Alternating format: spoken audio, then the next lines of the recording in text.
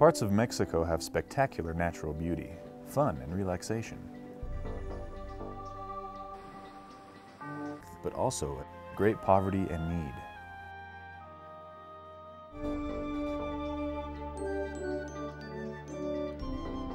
For over 10 years, Southern Utah University has offered its students alternative spring and Christmas breaks, where they pay their own way and drive 18 hours south from Cedar City, Utah to Guaymas, Mexico to assist the needy in many ways.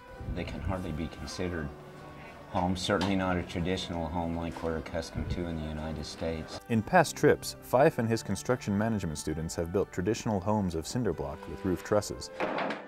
Laying nice looking brick is not that easy and usually takes more than just the one week to build one house. I, a lot of people here in Mexico and Guaymas that they don't have enough money to make something security for them. And when you guys come here and do something like this, just make the difference for the people. People really appreciate the work that you are doing for them. This is a lot of fun to build and to, to serve and I mean to see how much help you can do for one person in a week's time. When Hurricane Jimena hit the Sonora coast in September of 2009, the destruction didn't make big headlines in the United States, but the wind with over 30 inches of rain destroyed homes.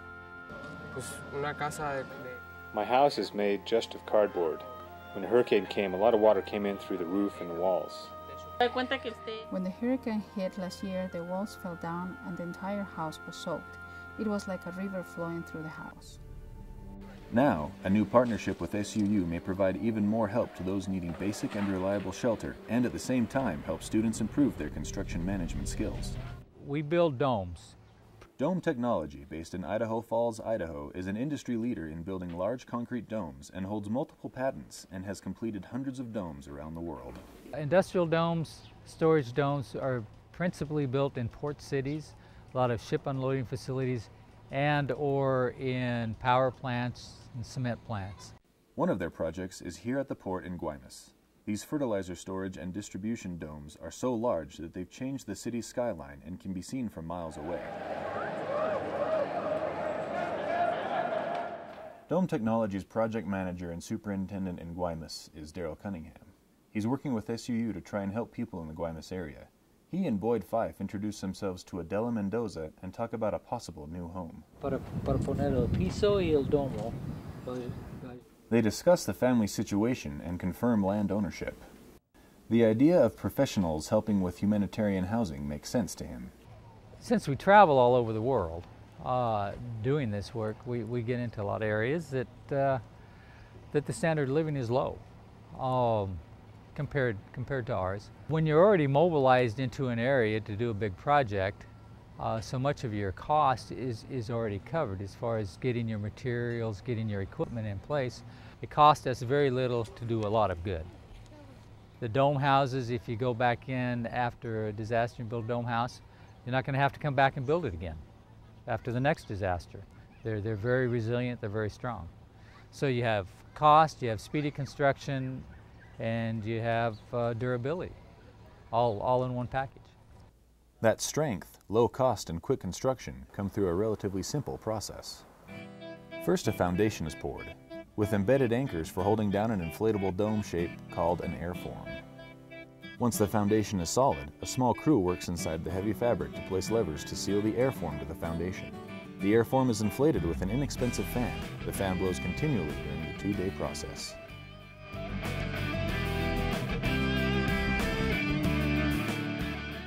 Air pressure is measured with a tube filled with any available liquid. Then rebar are attached, accommodating door and window frames and rough electrical lines. The first and then second layer of concrete is applied, and when firm, the airform is removed and can be reused as many as 80 to 100 times. For this week's projects, the first dome house was sprayed with high-pressure concrete, or shotcrete. The house shell was completed in two days. To try it with volunteer crews, the other two domes were completed by hand and a bucket brigade fills one of the foundations.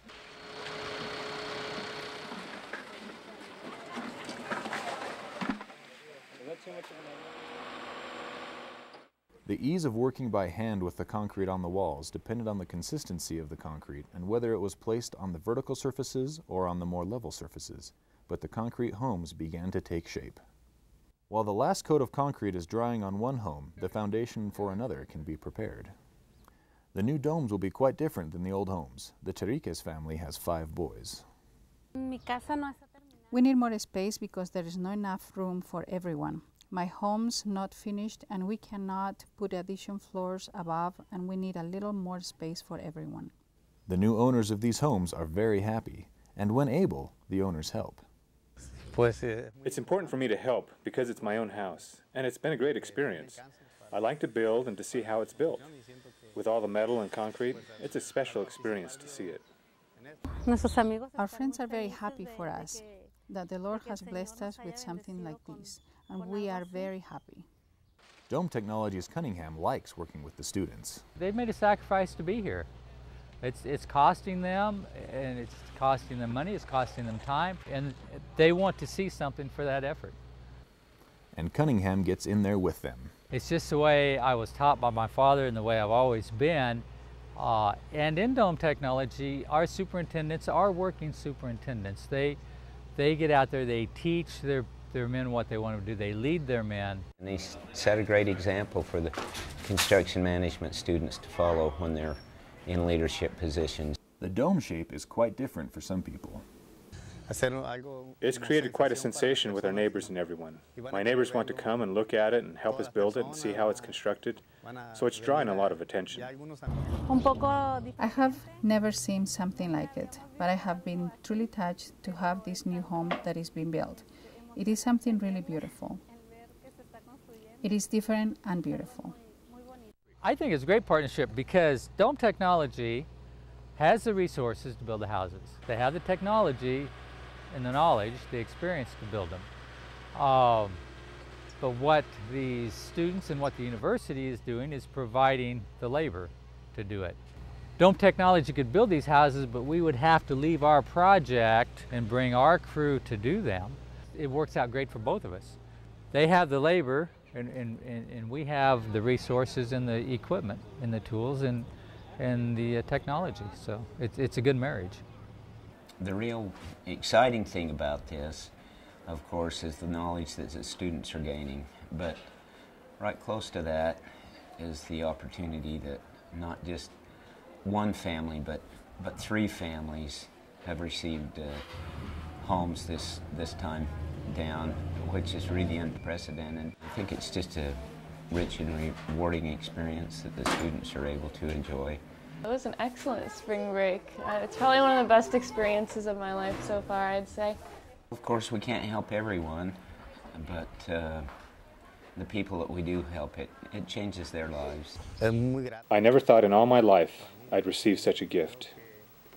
Normally we just do one house, you know, per trip down to Guaymas, and this this time we've done four houses. Three of them have been domes, and we've done the one traditional house. So, I mean, we've affected four families instead of just one with the same amount of same amount of people. So, for that reason, I think it's a great idea. If you're a student, we invite you to expand your service experiences and join in the humanitarian effort. There will still be plenty of traditional construction, but building the domes offers additional experience. If you're a contractor or construction supplier, donated doors and windows of any size can be placed in these domes but sometimes getting these materials across the border can be difficult. So cash donations are the most helpful because purchasing materials such as concrete, rebar, and electrical and plumbing supplies in Mexico helps the local craftsmen and standardizes the homes to a metric system. Southern Utah University, in partnership with Dome Technology, needs your help to continue this work of helping students help others, bringing about a brighter world.